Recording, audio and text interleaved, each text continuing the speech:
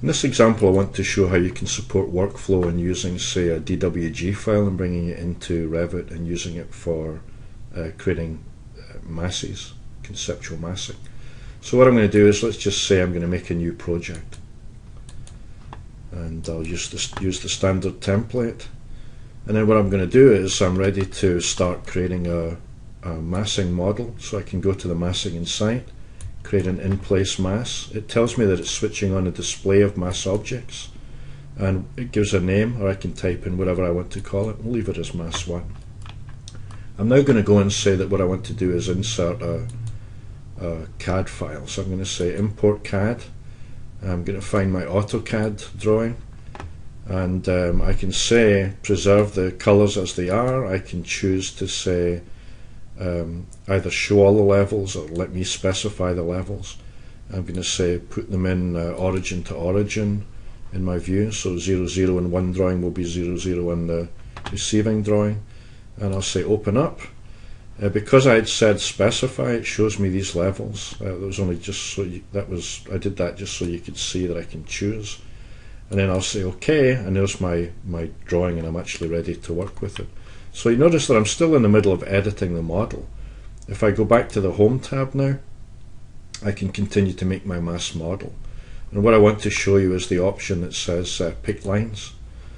So what I'm doing now is if, if I uh, zoom in a bit closer so you can see it, I'm just going to pick the outside lines on this particular uh, building. So I got, uh, got that one there, I'm going to pick the outside here, and here, and here Let's see how I'm doing. So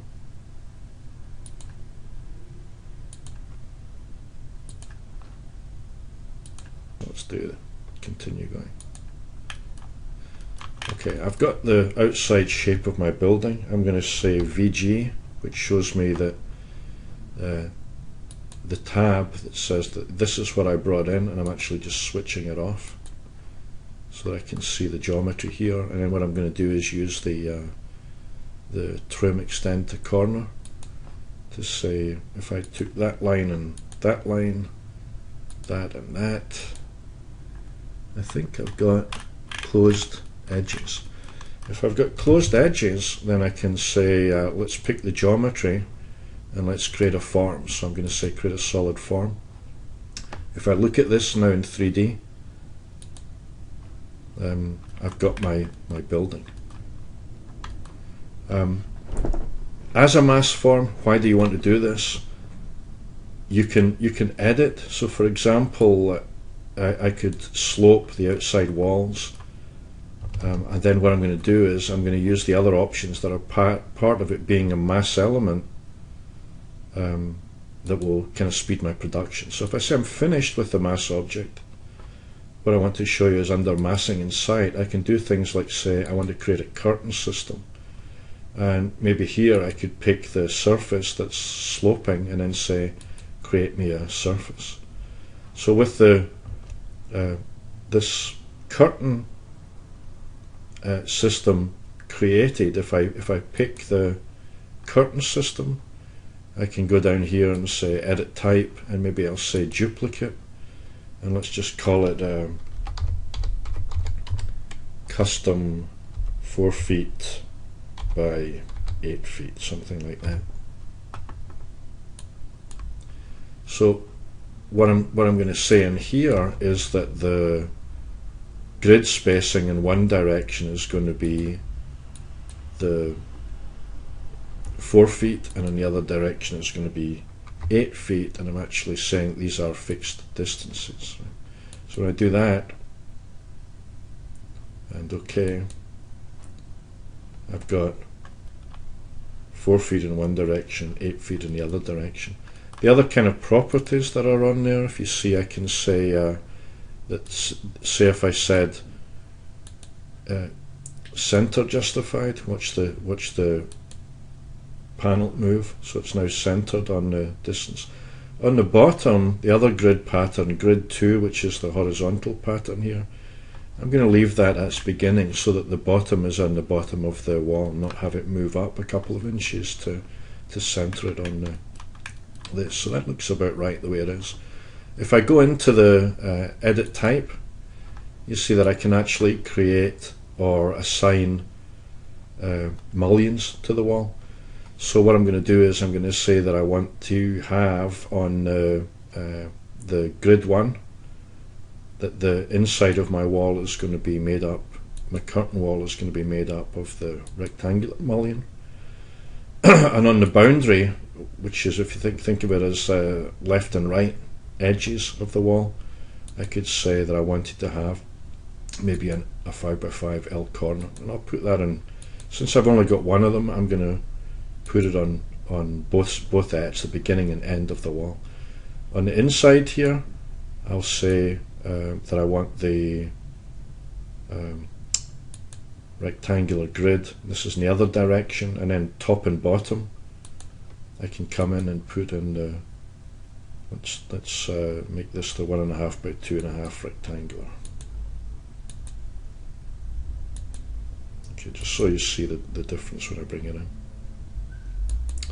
Now the significance of all of this is that I can go in and I can edit and place these uh, curtain wall panels in my building. Uh, they are associated with the face of the mass element. So if I pick that mass element, in fact if I uh, pick it and say edit and place, you see that I can pick an edge and I can make a change. So imagine I, I increase the slope on this. Uh, anytime I want, I can pick. I can. I'm finished with the mass. Anytime I want, I can pick on that uh, curtain panel system and say update to face, and have it go back to uh, its location. So this is a different way of working. It's not like uh, drawing walls, doors, windows in kind of a construction documentation sense, although that you can use that for design as well especially since you can use generic components. But this is another way of working when I can actually make the forms. The problem is this, right? So th this is a curtain panel system, and I can do lots of things to uh, customize the components. But what I can't do is if I edit this mass, and what I'm going to do is edit the profile on the top, and I'll take out the uh, edge and I'll put in a curved form. Uh, these curtain wall systems are really um, not designed for anything other than flat planes or maybe ruled surfaces between objects. So when I when I update this, there's my my mass, and I'm finished with the mass, and then I pick my uh, panel system. So I'm trying to find the edge so that I can select it, see the whole thing highlighted. Uh, let's do it a different way. Let's grab it all. Let's look in the filter and say I want to pick the uh, curtain panels, grids. Uh, let's just, that's me just selected the curtain system. And then what I'm going to do is say update to face. You see what it did is, is as long as it's uh, kind of a ruled surface, like think of it as certain number of points along the bottom, certain number of points along the top, and it's fairly regular, then it will adapt and do this. But if I got a really complex surface, um, this would break down.